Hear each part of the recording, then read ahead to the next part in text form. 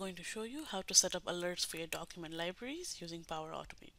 This can be done by creating a custom date column and using Power Automate's templates. To create a date column, click on Add Column, select Date and Time. Name your column, we'll call this Due Date. You can leave the settings as is and click on Save.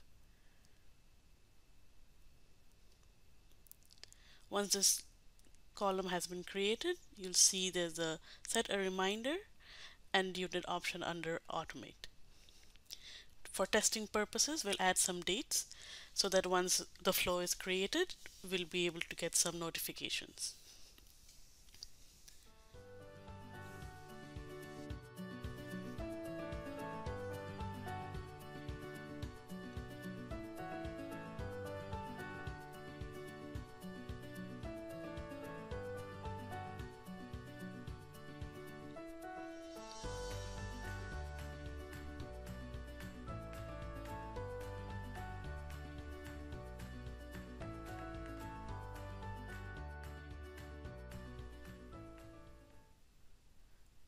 Once the dates are set, we'll click on Automate, click on Set a Reminder, select the date column, and then in this pop-up window, our flow options will appear.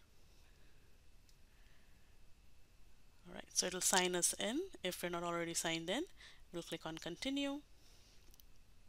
You can change the name of the flow if you'd like, and we'll set the number of days we'd like to be reminded of before the due date.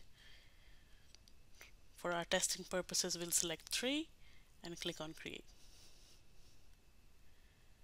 So right now our flow has been configured and very soon we'll get an email if uh, one of the dates are within the next three days.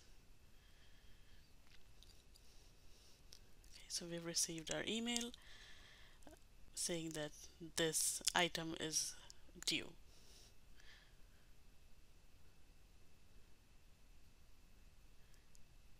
Can also make changes to our flow. We'll click on Power Automate, see your flow. You can change the date. You can also delete. You can also make some changes to it as well. So we'll click on our flow. Here we can see our run history. We'll click on Edit.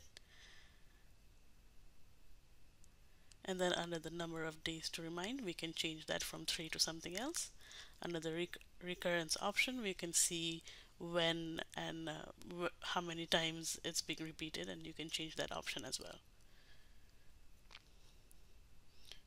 To delete the flow just click on delete and your flow will be deleted.